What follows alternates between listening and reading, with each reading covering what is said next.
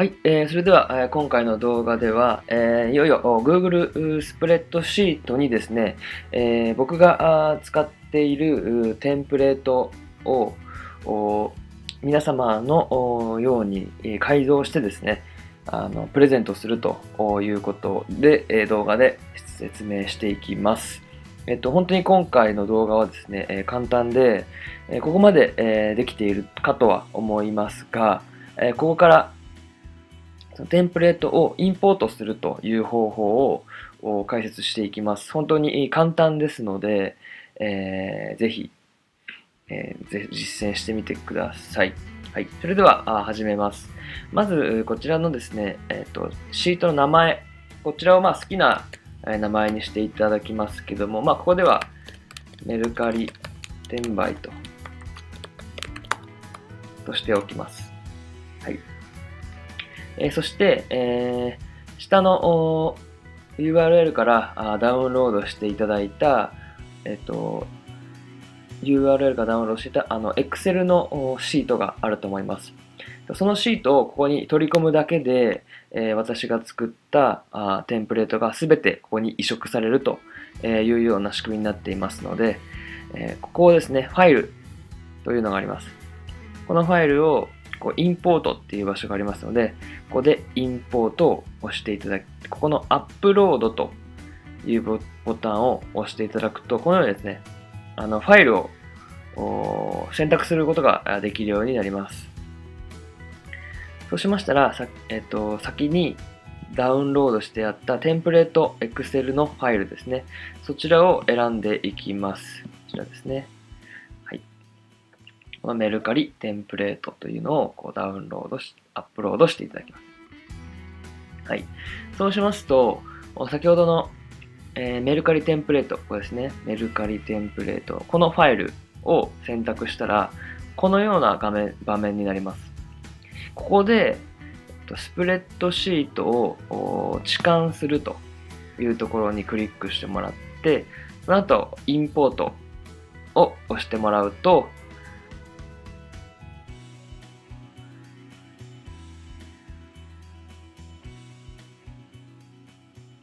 このシートにですね、えー、作ったテンプレートがすべて、えー、このワンクリックで、全部移植されます。で、えー、Google スプレッドシートなんですけども、えー、ここにわっとあると思います。まあ、ここに説明文。で、ここに下にもあの Google スプレッドシートっていうのはタグがあって、タブがあってですね、で、ここ商品管理シート。こちらがメッセージテンプレート。こちらがプロフィールテンプレートということになります。ここを詳しく説明していきます。でここが説明文ですね。これは商品の説明文になります。これを、まあ後で、え、詳しく説明しますけども、ここをガーッとこうコピーしてもらって、えー、メルカリの説明文に貼るというだけ。これちょっとだけ、えー、今、覚えておいてください。これは説明文。ここで商品の管理、これの例が、もう、例えば、で、えっと、URL なんですけども、商品が売れたら、あこを、この商品管理を飛んできて、売れたら、番号を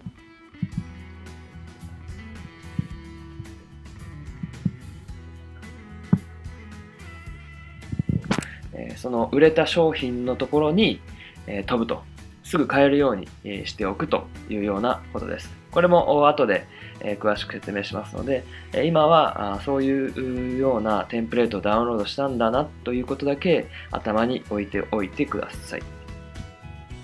で、まあ、実際商品がいっぱいになると、まあ、このようにですね、まあ、こういう感じになっていくというようなことです。それでは、え次、こちら、えメッセージテンプレート。これはですね、あの私が使っていて使っていたあのメッセージです。まあ、あの長文のメッセージとかもありますので、あの打つのがめんどくさいとか、やっぱりあると思います。まあ、そういうのをですね、えー、簡単にできるように、ただこういうふうにコピペして、あのやるだけでもあの対応ができるようになっております。で、えー、最終的にはですね、あの自分でどんどんどんどんこの下とかあの追加してってもらって、いろんなパターンを常にストックしておくようにしてください。まあ、そうするとですね、ここにも書いてあるありますけども、とにかく、ストックしておけば同じ質問が来たら次からあコピペでちょっと修正するぐらいであのパパパパッとすぐ送れるようになりますので、えー、長文を打ったら、まあ、あとはよく使う文章とかあれば、あのすぐに、ここにストックしておいてですね、あのすぐ使えるようにしておけおいてほしいなと思います。はい。えー、で次ですね、こちら。えプロフィールテンプレート。これはですね、あのメルカリにプロフィールという欄があるんですけども、そこのプロフィールを、えー、こういうようなプロフィールをした方がいいです。え、ここにも書いてありますけども、このテンプレートをもとにオリジナルにアレンジして、え、お使いくださいということです。で、まあもちろんそのまま使っていただいても結構ですが、まああのみんな同じようなね、あの説明文だと、やっぱりあのあんまり良くないですので、まあそのライバルという意味でですね。